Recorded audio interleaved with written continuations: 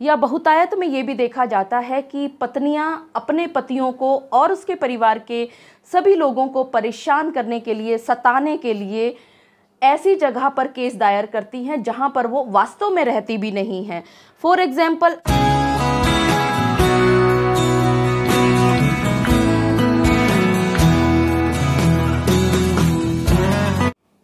जब भी आप पति पत्नी के बीच में तनाव आता है और पत्नी जब अपने मायके में जाकर के रूट के बैठ जाया करती हैं और कभी कभी उनके साथ वास्तव में आप पतियों ने गलत किया होता है और वो अपने मायके से अपना केस करना चाहती हैं या बहुतायत में ये भी देखा जाता है कि अपनी जिद के चलते, अपने ईगो के चलते, अपने अहम के चलते या झूठी ईर्ष्या के चलते काफ़ी सारी पत्नियाँ झूठा केस भी दायर किया करती हैं और इस झूठे केसों की वजह से बहुत सारी ऐसी पत्नियाँ हैं जिनके ऊपर वास्तव में उनके पति अत्याचार करते हैं लेकिन उनको न्याय नहीं मिल पाता। तो आज इस वीडियो के माध्यम से मैं आपसे फिर दोबारा से हाथ जोड़ करके ये विनती ज़रूर करना चाहूँगी कि अगर आपके पति ने वास्तव में आपके साथ अत्याचार किया हो तो उसको कभी भी ना छोड़िएगा। लेकिन हाँ झूठा केस ना कीजिएगा, क्योंकि आपके परिवार को बनने की जो थोड़ी बहुत भी गुंजाइश हुआ करती है, वो झूठे केस की वजह से, झूठे लांछन की वजह से परिवार को बिखरने में ज़्यादा समय नहीं लिया करती। आज के इस वीडियो में मैं आप सभी के साथ इस बात पर चर्चा करने वाली हूँ कि क्रिमिनल केसेस हमेशा वहीं फ़ाइल किए जाते हैं जहाँ पर प्लेस ऑफ़ इंसिडेंट हुआ करता है, यानी जहाँ वारदात हुई है, जहाँ पर घटना हुई है, उस घटना स्थल पर ही कोई भी क्रिमिनल केस फ़ाइल किया जा सकता है। लेकिन यहाँ पर ये प्रश्न सुप्रीम कोर्ट तक आया एक पति के माध्यम से कि जो भी प्लेस ऑफ़ इंसिडेंट था, वो अलग था, लेकिन पत्नी ने अपने मायके में जाकर के अगर केस किया है तो वो केस खारिज किया जाना चाहिए। जी हाँ आप सभी ने बिल्कुल ठीक समझा। आज के इस वीडियो में मैं आप सभी के सामने इसी बात पर चर्चा करने वाली हूँ कि चार सौ अट्ठानवे ए का जुरिस्डिक्शन आखिरकार है क्या? और ये प्रश्न सुप्रीम कोर्ट तक कैसे पहुँचा? अब देखिए, ये तो बिल्कुल सत्य है कि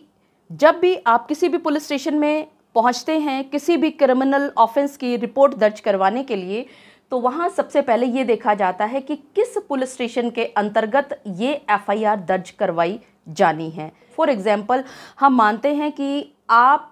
और आपकी पत्नी दोनों लोग दिल्ली में रहा करते थे और दिल्ली में आप लोगों के बीच में बहुत लड़ाई हुई और इस लड़ाई के चलते आपकी पत्नी ने आप पर चाकू से वार कर दिया, आपका हाथ कट गया और आप ये सोचें कि अब जहाँ आपकी पत्नी रहती है, वहाँ पर उस पुलिस स्टेशन में जाकर के अगर आप रिपोर्ट दर्ज करवा दें तो ये संभव नहीं होता। लेकिन चार सौ अट्ठानवे ए का जो केस है, वो ज़्यादातर आपने, सभी ने ये देखा होगा कि सभी पत्नियाँ जहाँ अब उनका मायका होता है, वो वहाँ पर दर्ज कराया करती हैं। या बहुतायत में ये भी देखा जाता है कि पत्नियाँ अपने पतियों को और उसके परिवार के सभी लोगों को परेशान करने के लिए, सताने के लिए ऐसी जगह पर केस दायर करती हैं, जहाँ पर वो वास्तव में रहती भी नहीं हैं। फॉर एग्ज़ाम्पल हम इसको समझते हैं कि आपकी पत्नी रहती थी दिल्ली में और उनका जो मायका है वो हरियाणा, हिसार में है। अब क्योंकि ये भी सत्य है कि हिसार और दिल्ली के बीच में ज़्यादा दूरी नहीं है जितनी कि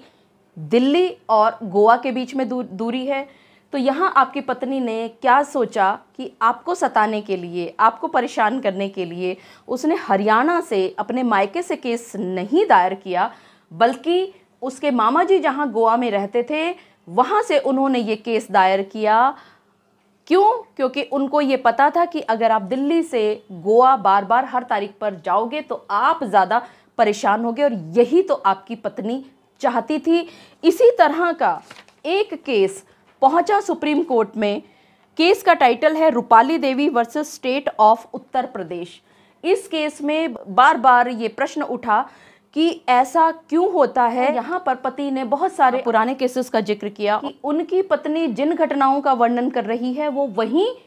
पर खत्म हो गए थे जहाँ पर वो अपने पति के साथ रहा करती थी। यहाँ पर सुप्रीम कोर्ट ने बिल्कुल ये बात देखी समझी और परखी और ये भी कहा कि ये बात वाकई में सच है कि बहुत सारी पत्नियाँ सिर्फ़ अपने पति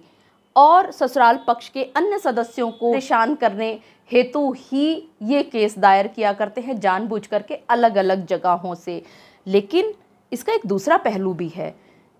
ये भी सच है कि आज भी बहुत सारी औरतें परेशान हैं, सताई हुई हैं, अत्याचार को सहने के लिए मजबूर हैं। वो पत्नियाँ अपने पतियों के अत्याचारों को सहते हुए परेशान होकर के जब वो मजबूर हो जाती हैं उस ससुराल को छोड़ करके और वो जहाँ कहीं भी शेल्टर लेती हैं, यानी कि शरण जहाँ पर भी लेती हैं, वो जहाँ पर भी शरण लेंगी, वहाँ से वो केस दायर कर सकती हैं, क्योंकि वो पत्नी पहले ही अत्याचार के चलते उस जगह को छोड़ करके भागी हैं। वो पत्नी उसी जगह पर नहीं रह सकती, उनके पास ऐसा कोई शरण की जगह नहीं होती कि उनके ससुराल में ही वो दूर कहीं जा कर के रह ले, ये संभव नहीं होता क्योंकि वो उनके अत्याचारों से बहुत ज़्यादा डर चुकी होती है, उसको अपनी जान का खतरा हुआ करता है। तो वो वहाँ से आ जाती हैं, चाहे वो अपने मामा के घर पे आए, चाहे चाचा के घर पे आए, या अपने माताजी, पिताजी के घर पे आए, बहन के घर पे आए, या किसी भी ऐसी जगह पर आए, जहाँ पर वो शरण लेती हैं, ताकि उनको उनके पति और अन्य ससुराल वालों से छुटकारा मिल जाए अत्याचारों से। उनके लिए ये संभव नहीं होता कि वो इतना पैसा लगा सके कि वो वहाँ से बार बार उस जगह पर आ सके जहाँ पर वास्तव में उनके साथ उनके पति ने अत्याचार किया था। तो ऐसी पत्नियों की सहायता के लिए ही सुप्रीम कोर्ट ने बहुत अच्छी तरह से ये क्लियर कर दिया है कि पत्नी अपने ससुराल को छोड़ करके जहाँ पर भी शरण लेकर के रहती है, जिस भी शेल्टर होम में रहती है, जहाँ पर भी उसको शेल्टर मिलता है, वो वहाँ से चार सौ अट्ठानवे ए का केस दायर कर सकती है। और ये जो रूलिंग पास की थी सुप्रीम कोर्ट ने, इसकी लिंक मैं आपको डिस्क्रिप्शन बॉक्स में दे दूँगी। आप सभी डिस्क्रिप्शन बॉक्स से इस पूरी की पूरी रूलिंग को साइटेशन को डाउनलोड करके पढ़ सकते हैं। मुझे पूरा विश्वास है कि आप सभी को आज के इस वीडियो के माध्यम से भली भांति पता चल गया होगा कि चार सौ अट्ठानवे ए का क्षेत्राधिकार वहाँ पर नहीं माना जाता, जहाँ पर दोनों पक्ष रहे हैं, बल्कि अगर पत्नी चाहे तो वहाँ भी वो केस कर सकती है और इसके अलावा उसको जहाँ पर भी शरण मिलती है, वो वहाँ से ही चार सौ अट्ठानवे ए का केस अपने पति व अन्य ससुराल पक्ष के सदस्यों के खिलाफ दायर कर सकती है।